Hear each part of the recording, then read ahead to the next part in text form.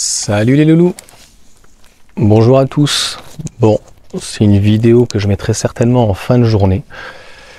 Il y a eu quelques petites informations, donc je vais te faire une toute petite intro. Donc, euh, excellente nouvelle de la validation du gouvernement allemand. Il y aura certainement peut-être les écologistes qui vont encore s'exciter dessus. Telle n'est pas la question.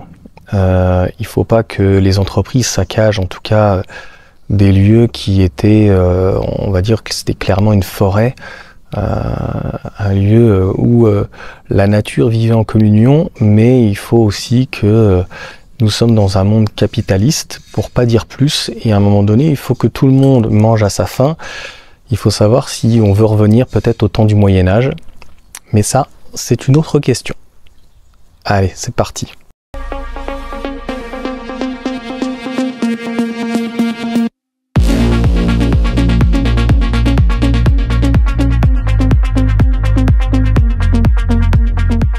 L'information qu'il y a eu aussi aujourd'hui, comme vous le savez, euh, CATL communique énormément sur ses batteries. Ils ne font que ça, contrairement à BYD qui fait, qui font des batteries et aussi des voitures. Donc ils maîtrisent, on va dire, la totalité de la chaîne. Euh, CATL qui fait euh, chaque fois donc des promesses en veux-tu, en voilà. C'est vrai que CATL, même avec des batteries LFP, Tesla arrive à faire d'excellents produits parce qu'on est quand même sur des batteries euh, moyennes, voire bas de gamme, si on peut dire, et arrive à avoir un, excellent rendement en termes de charge, en termes euh, de, puissance et de stabilité par rapport à ces batteries qui sont à faible densité et qui ont, mais qui ont en tout cas d'autres avantages. Là concrètement, euh, on a encore des promesses et les promesses ne tiennent que à ceux qui veulent bien l'entendre.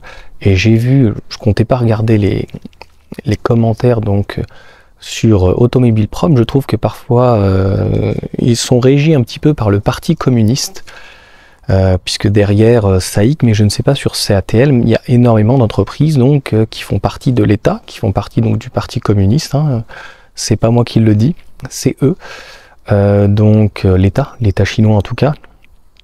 Donc même si les performances sont au rendez-vous, 400 euh, km rechargé sur euh, une charge rapide en 10 minutes, ça veut strictement rien dire. Déjà, il y a, en fait, quand tu fais une charge rapide, très souvent, c'est que tu as besoin d'aller vite.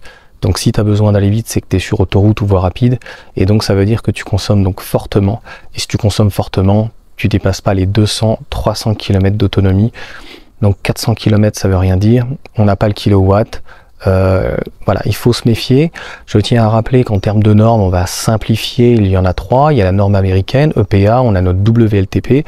Donc celle EPA est euh, très franche, si on peut dire, euh, est assez juste. la norme européenne est un petit peu trop gentille ou souple. En tout cas, ne reflète pas la réalité.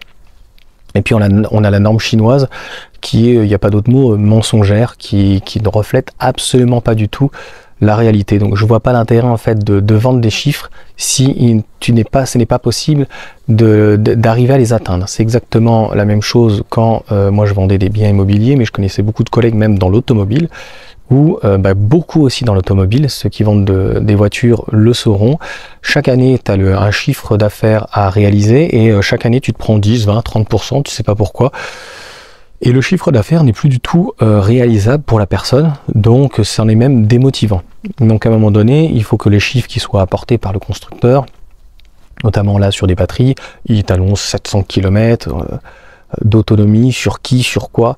Donc c'est plus un avertissement, limite un coup de gueule, euh, il ne faut pas croire euh, à chaque fois tout ce que disent les constructeurs, et surtout malheureusement les constructeurs chinois, puisqu'ils sont extrêmement loin de la réalité. Leur euh, cycle homologatoire est n'importe c'est n'importe quoi, clairement. Donc on va attendre clairement les nouvelles batteries, et je pense qu'il n'y aura pas de nouvelle révolution, si on peut dire, tant qu'il n'y aura pas les batteries dites solides ou des batteries en tout cas plus petites. Les batteries solides vont permettre d'alléger les batteries et euh, peut-être en tout cas une meilleure, euh, une meilleure densité, une meilleure stabilité si on peut dire. Donc euh, là, les temps de charge sont déjà, on va dire, sur certains constructeurs en 800 volts excellents, voire pour pas dire exceptionnels, en tout cas avec les Coréens Hyundai et Kia. Et puis euh, il y a Porsche qui va arriver euh, très très fort avec, euh, avec des châssis et, des architectures 800 volts. C'est plutôt là aussi qu'il faut, faut aller. Donc c'est ce que Tesla, donc bah, ils sont pas les premiers, tu vois, ils sont pas les premiers dans tout. Donc là, ils ont, on va dire, un temps de retard. Donc c'est ce qui va permettre de gagner aussi en termes de temps. C'est pas tout le temps. la charge n'est qu'importante sur des très longs trajets. Donc voilà pour cette information qui finalement euh, n'en est pas une. Euh, CATL a pris l'habitude de, faire des communiqués euh, à la va comme je te pousse et avec aucun calcul et qui avance des chiffres. Et moi je trouve qu'il faudrait pas qu'ils fassent trop souvent ce genre de choses parce que ça les dessert, il faut qu'ils restent sérieux. C'est une entreprise qui fait de très bonnes batteries pour de nombreux constructeurs. Mais avancer de tels chiffres n'importe comment, il n'y a que les crédules franchement qui vont croire euh, clairement à ce genre de conneries. Donc c'est une vidéo que je vais mettre je pense en fin de journée, là je vais préparer. Euh, j'ai fait la vidéo, j'ai plus qu'à faire donc le montage sur euh, ben, merci à Gab pour, pour cette vidéo. Donc ça m'a inspiré et par rapport à tous les éléments que j'avais, et eh ben je te montre ça là maintenant cet après-midi. Je vais prendre une petite demi-heure. C'est quand c'est passionnant, on, on sent pas le temps passer. Allez, je vous souhaite une bonne journée, un bon jeudi et une bonne fin de semaine.